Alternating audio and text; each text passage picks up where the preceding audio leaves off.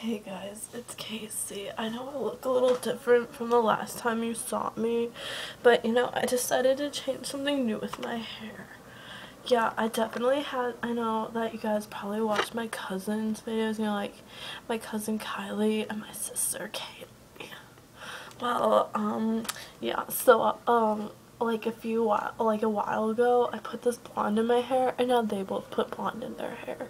But I definitely had it first.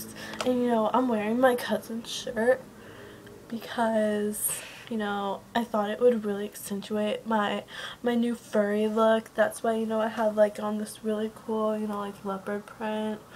Um, this, I like to call this my mane. Um, it's like really good and stuff and like, um, yeah, so it's good for like you know, making me look really furry and like a lot of the furry community, they're like totally jealous of their hair, like, oh my god, how did you get your hair like that?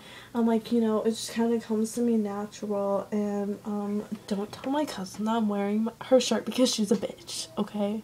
Like, um, we're not actually friends and um, she just pretends like me just so she can copy off of me because we all know that I'm like so much cooler than her just kidding, I'm really not. You know, I don't really have any friends or anything, and like, you know. So, I wanted to show you guys my, my new friend. Um, this is my friend. I thought that he kind of looked like me, so, um, I just, you know, I kind of bring him places with me, and we go to, like, the, the furry community, so, like, say hi. Oh, hi, how's it going?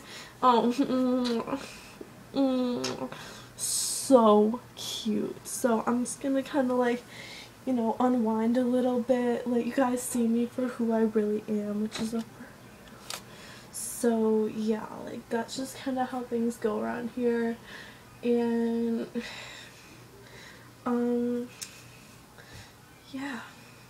So I guess I'll see you guys like you know around and stuff, and